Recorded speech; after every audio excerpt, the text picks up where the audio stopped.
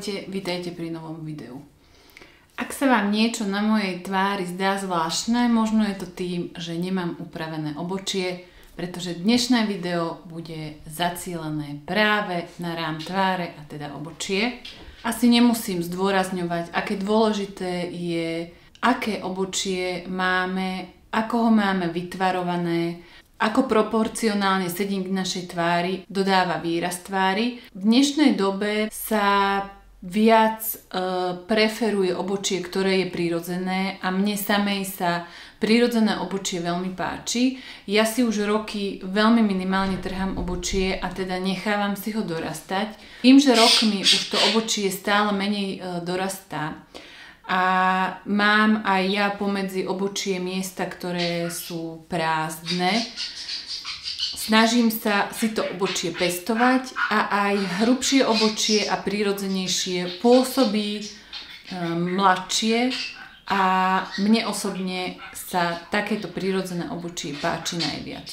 Mám tu produkty, ktoré mám ja na obočie vyskúšané ktoré som si otestovala, ktoré sa mi páčia a pobavíme sa teda aj o tých, ktoré možno, že používam menej, ale je to o vašej preferencii a o tom, aké vlastne vy to prírodzené obočie máte. Samozrejme, že je iné, pokiaľ niekto svoje prírodzené obočie nemá alebo má len veľmi minimálne a musí si ho veľmi dokreslovať.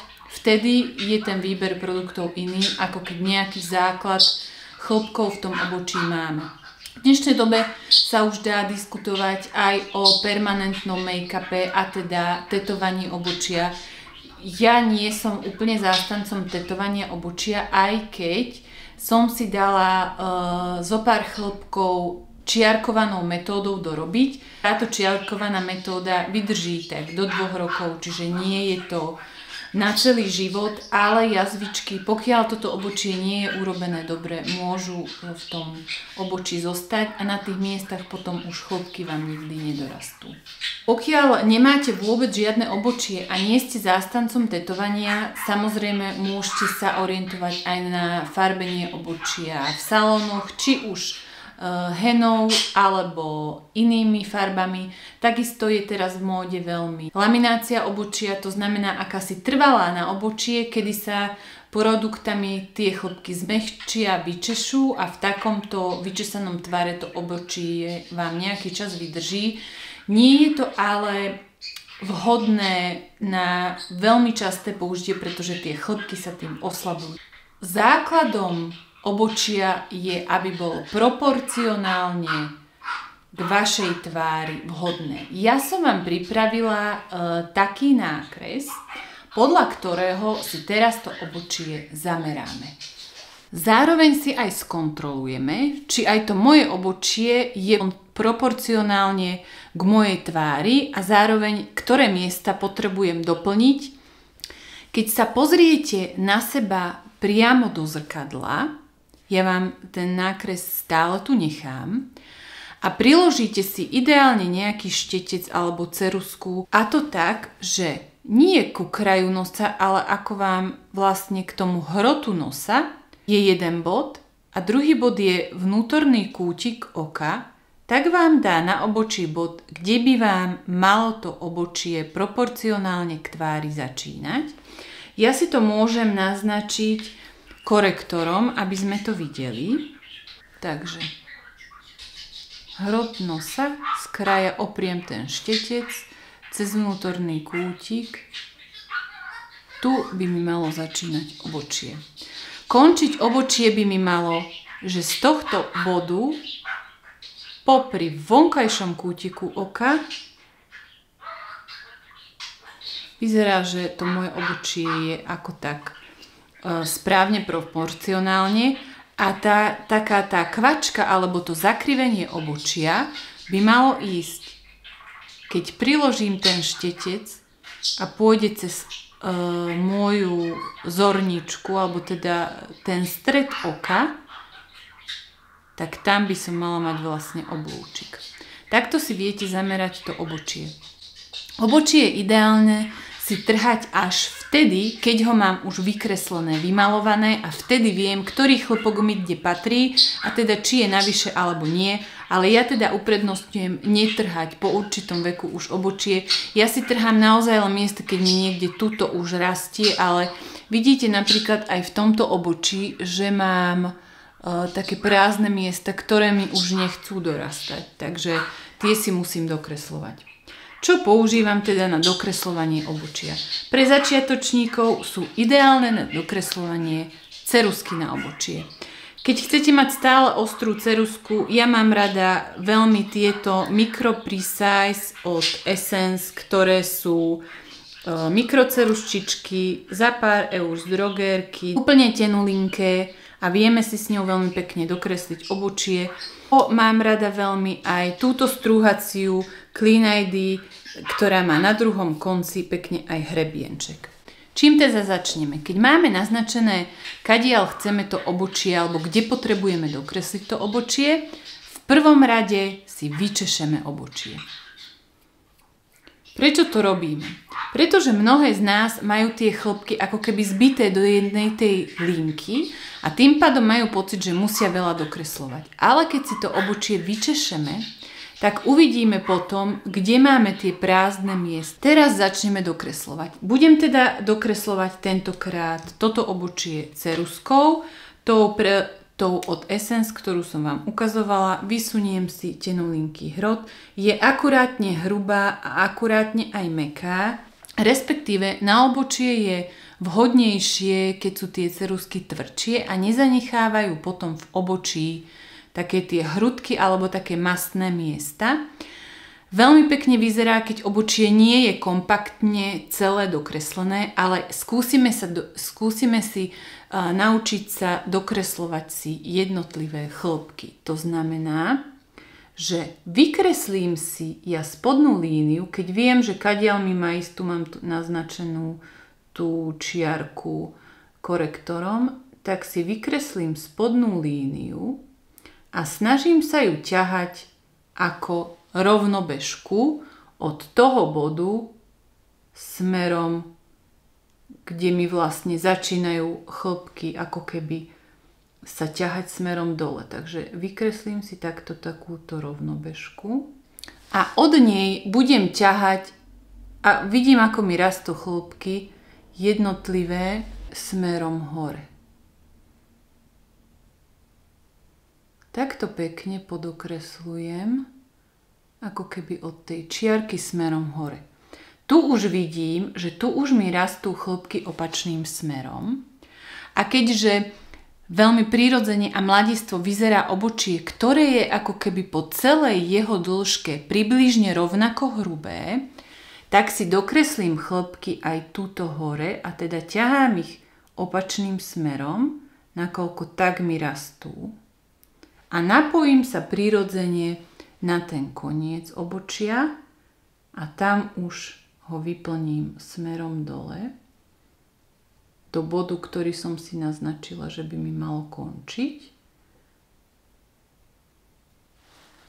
Takto som si vyplnila teda obočie oproti tomu druhému vidíte ten rozdiel s tým, že tá hrúbka toho obočia je v celej tejto ploche približne rovnaká. To veľmi mladistvo vyzerá, pretože kedysi sa trhali obočia tak, že pod tým bodom o, zlomu sa vytrhalo obočie veľmi a tak sa snažilo vlastne ako keby omladzovať a zdvíhať obočie, ale v dnešnej dobe to obočie zdvíhame tým, že ho nakreslíme a vyplníme hrubšie a túto líniu zachovávame. Čo je veľmi dôležité, je rozčesať si toto obočie, aby vyzeralo prirodzene. Na rozčesanie buď viete použiť e, z cerusky tú kefičku na konci, to je ideálne mať také kompaktné duo vlastne v ceruske. Ja mám veľmi rada tento štetec, ktorý je od Ebeline, lebo na konci má takýto skosený Eh, skosené chlopky a na druhom konci je teda tá kefička. Alebo sa dajú dostať aj samostatné kefky. Toto je od Mary Kay.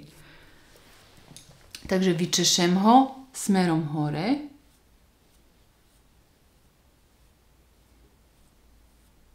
A smerom v podstate rastu toho obočia. To je tretí bod. Čiže vyčešeme, dofarbíme ceruskou, prečešeme kevkou a v tomto momente si skontrolujeme, či náhodou niekde nemáme výdeté, kde potrebujeme začistiť to obočie. Obočie začistujem štečekom, ktorý je plochý na konci. Vyzerá takto. Takže si ten korektor e, z ruky zoberiem a kde mi treba, tak si začistím alebo vytvorím ale veľmi jemnúčku spodnú hranu toho obočia. veľmi, veľmi jemne, pretože nechceme tam mať nejakú bielu čiaru. Takže len takto začistím obočie. A teraz ho potrebujeme zafixovať. Tí, ktorí ma sledujete, viete, že ja veľmi rada používam na fixáciu obočia tento farebný gelik od Alverde, ktorý zoženiete v DMK aj priesvitnej verzii, pokiaľ nechcete farbiť. Ale dnes, keďže si ukazujeme rôzne produkty, vám na fixáciu ukážem tento e, vosk od Catrice, ktorý vyzerá ako taký vosk na vlasy. Vnútri je takej tušej konzistencie. A teda použijem naň e, túto kevku, ktorú som vám ukazovala od Eveline. Veľmi jemnúčko naberiem ten produkt z toho balenia. Trošku si ho ešte aj o ruku rozpracujem a vyčešem tie chlopky v smere rastu. To znamená, že ja ich nevyčesávam kolmo hore, ale keďže mne takto rastú, tak takto jemnúčko ich vyčešem.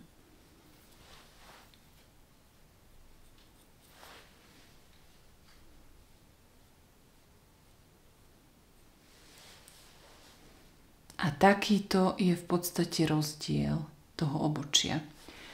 Čiže vosk.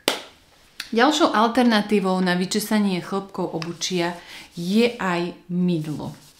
Od Essence dostať, mám ho trošku zacapkané, to sa ospravedlňujem, dostať aj takéto mydielko, ktoré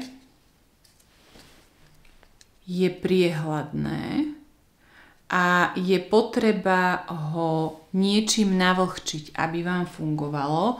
Na navlhčenie môžete použiť či, či už fixačný sprej, kedy naozaj zaručíte, že vám to obočie vydrží dlhšie, alebo napríklad nejaký mist, rúžovú vodu alebo čistú vodu, ktorú si v rozprašovači nastriekate na to mydielko, takisto kefičkou rozpracujete a vyčešete. Treba byť pri tejto metóde veľmi opatrný a nanášať veľmi málo toho mydielka, aby vám nezanechávalo také tie biele flaky v obočí. Ideme na druhú stranu a na druhej strane vám chcem ukázať druhý spôsob e, vyplňania obočia a to je fixkou na obočie. Odo mňa už viete, že mám veľmi rada túto fixku na obočie od Eveline, ktorá má veľmi tenúčký hrot. Tou sa tiež dá veľmi pekne vyplniť obočie s tým, že to obočie je aj vode odolné a dlhšie vydrží. Takže druhú stranu spravíme takisto a vyplním si najprv spodnú líniu obočia.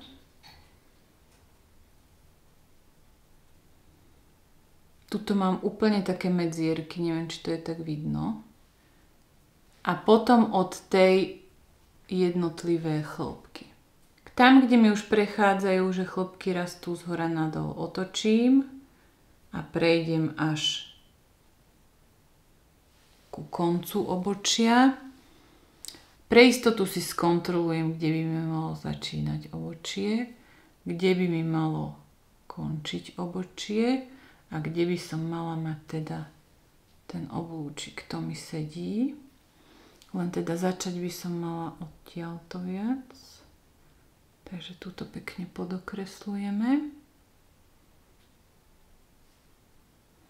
Pokiaľ vám tá fixka nebude stačiť na dokreslenie, môžete použiť tieň na oči.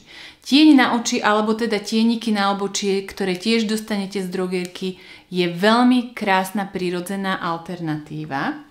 Ja napríklad nekupujem špeciálne tiene na obočie, ale používam normálne tiene na oči a takisto skosený šteček, ktorý som vám ukazovala, buď tento od Ebelineu, ale ja mám veľmi rada tento skosený šteček 317 Wingliner od Zoevy, ktorá je naozaj ostro skosená na konci.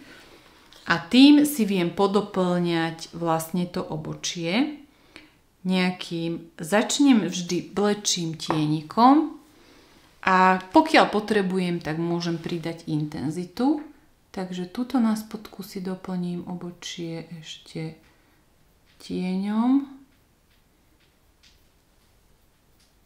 A keď potrebujem, môžem aj na začiatku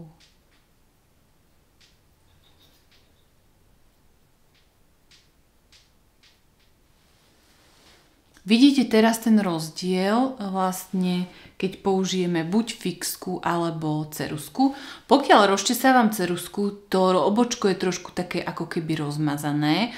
Pokiaľ používam fixku, tak to obočie je viac také definované. Zase nezabudnem ho rozčesať, aby sa mi rozdistribuoval ten produkt do celého obočia a zároveň, aby som nemala nejaké ostré linky, a ostré hrany. A teraz je vlastne čas, kedy potrebujem zafixovať to obočie. Výborný, výborný fixačný gel, ktorý ale nemám tu pri sebe, mám ho v ateliéri, je od, od Benefitu 24 hodinový brow setter to je istota vodeodolnosti, fixácie na celý deň a ten produkt je neprekonateľný, ale ja teda použijem tento môj obľúbený od Alverde, ktorý naozaj nájdete aj v priehľadnej verzii, pokiaľ potrebujete, aby sa vám vlastne nemenila farba. A takisto vyčešem to obočie nie hore, ale v smere rastu chlopkov. Tuto vidíte aj rozdiel pri použití jedného alebo druhého produktu. Pokiaľ potrebujem zase, viem to začistiť miesta alebo spodok si prebehnem veľmi jemnúčko týmto skoseným štečekom pozačistujem a presne teraz je čas, pokiaľ potrebujete nejaký chlpok vytrhnúť, teraz je čas na to, aby som si vytrhla chlpky. Takže viem si pekne skontrolovať, že tuto mám nejaký navyše, navyše toho, ako chcem, aby mi to obočie vyzeralo. Teraz si trhám, čiže trhám si obočie vždy až keď ho mám vykreslené. Hlavne vtedy, keď si ho chcem nechať dorásť. A ešte tu mám jeden. Výborne. Toto je môj spôsob vyplňania obočia. Tieto produkty ja veľmi rada používam. Ale chcela som vám ukázať ešte, existujú teda aj pomády na obočie, táto je od Maybelline a tie pomádky vyzerajú takto. Je to alternatíva, ktorú doporučujem pre tie z vás, ktoré nemajú obočie alebo majú veľmi málo chlopkov v obočí, pretože toto je vodeodolná alternatíva. To veľmi dobre sa s tým pracuje. Samozrejme, že potrebujete k tomu skosený šteček, kedy si pekne naznačíte, odkiaľ pokiaľ to obočie býva malo proporcionálne tvári siahať, začiatok, koniec a teda ohyb. Hrúbku už individuálne nechám na vás.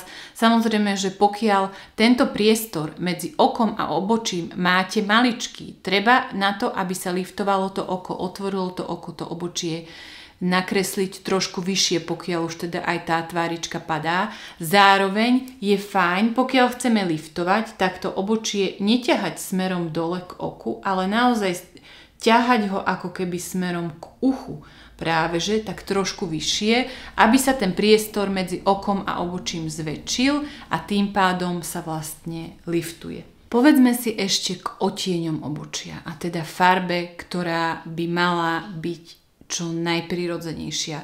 Aby to tak bolo, je ideálne, keď tmavovlásky, napríklad ako ja, si farbia obočie alebo používajú otiene, ktoré sú minimálne o dva otiene blečie od ich farby vlasov, aktuálnej farby vlasov. Blondinky zase by mali používať otiene, ktoré sú aspoň o dva otiene tmavšie, ako je teda blond. Uh, ideálnymi otieňmi na obočie sú studené otiene, aby to obočie nevyzeralo oranžovo, červeno. Aj pre napríklad ryšavky, červenovlásky je ideálna hnedá farba, studená hnedá farba obočia, tak aby to vyzeralo prirodzene a zároveň mladistvo. Neodporúčam čiernu farbu na obočie, ani veľmi, veľmi tmavohnedú farbu na obočie. Vidíte, že ja tým, že som si farbil vlasy, mám momentálne dosť tmavé vlasy a aj tak používam uh, napríklad blond farby na obočie, ktoré po prípade dotonujem ešte tieňom, pokiaľ sa mi pýta nejaká tma, nejaký tmavší otieň a pokiaľ ho potrebujete stmaviť, uh, používajte tmavú farbu od toho ohybu smerom dole a radšej tie predné časti obočia nechajte blečie. Tip na záver odo mňa, ja keď si farbím vlasy, čo je napríklad aj dnes, dnes som si farbila trošku, e, na moje prekvapenie mi svetlohnedá farba chytila na tmavo, ale nič sa nedie, pretože sa mi to vymie ale chcela som tip odo mňa, e, ja keď si farbím vlasy, si zvyknem vždy tou istou farbou farbiť aj obočie. Dneska som používala e, farbu od L'Orealu. Tieto farby nechytajú veľmi na kožu, vidíte, že aj kraj vlasov nemám zafarbené, čiže farbia veľmi pekne chlopky. Nanesiem tú farbu tým precízným štetcom od Zoevy, ako keby som si farbila obočie E, tienikom alebo gélikom, nechám 10-15 minút a potom micerálnou vodou alebo nejakým odličovacím balzamom. Stiahnem tú farbu z obočia dole a vydrží mi to niekoľko týždňov na chlopkoch, takže pokiaľ máte napríklad šedivé chlopky, vyskúšajte, myslím si, že taký, taký hack odo mňa, ktorý by sa vám mohol hodiť. Pokiaľ budete mať nejaké otázky k obočiu, veľmi rada vám ich zodpoviem pod týmto videom. Zároveň, pokiaľ máte vyskúšané produkty, ktoré vám veľmi dobre sedia a sú overené, neváhajte ich napísať pod toto video a spravíme si takú malú obočkovú poradňu. Možno vyskúšate nejaký nový spôsob úpravy obočia a verím, že sa už vidíme pri ďalšom videu. Majte krásny deň. Pa, pa.